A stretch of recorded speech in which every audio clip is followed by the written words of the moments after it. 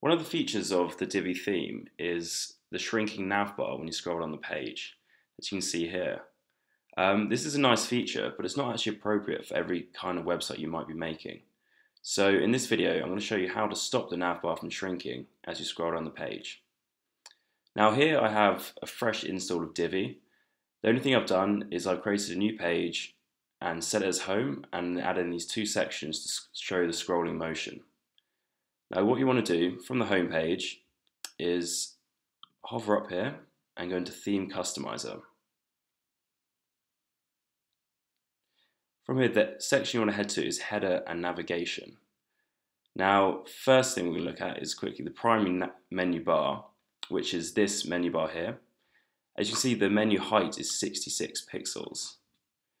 Now we can look back at the fixed menu, fixed navigation settings, sorry, um, which is this bar still, but it's this bar once you started scrolling because it's fixed to the top.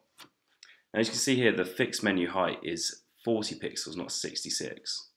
So all we're going to do is change that to 66.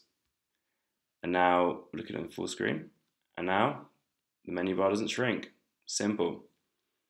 So the key part here is not that the value is 66, but it's the that the value of the fixed navigation menu height and the primary navigation height are the same. So I hope you enjoyed that tutorial. Make sure to check out our website, thedivicoach.com, for lots of other tutorials on the Divi theme. Thank you.